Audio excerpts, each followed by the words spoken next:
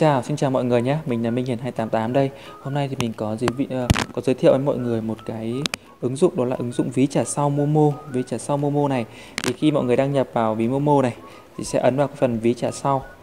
Uh, với ví trả sau này thì hiện tại thì mình đang được cấp một cái hạn mức là à, uh, 1,5 triệu.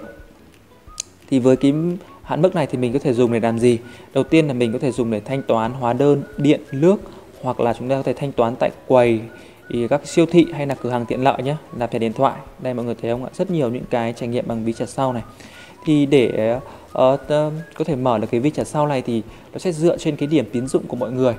Uh, điểm tín dụng này thì được đánh giá uh, thông qua cái việc là um, thường xuyên giao dịch trên uh, giao dịch như là lạp điện thoại này chuyển tiền này hay là mua những cái um, thanh toán những cái hóa đơn điện nước hoặc là mua đặt đồ ăn ở trên ờ, ứng dụng Momo này nhé thì sẽ được cấp một cái hạn mức dựa trên cái điểm tín dụng đó. Thì hiện tại những cái lợi ích mà khi mà mở cái ví trả sau này tức là chúng ta sẽ ờ, ví trả sau này chúng ta sẽ được là tiêu trước trả sau với cái việc có là um, được miễn lãi tới là 45 ngày.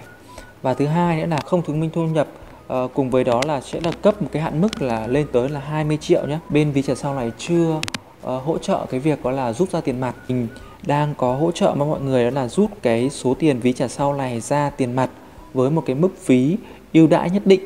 Thì mọi người liên hệ qua với mình thông qua số điện thoại Zalo ở trên màn hình nhé để có thể là nhận được những cái ưu đãi ờ, sớm nhất nhé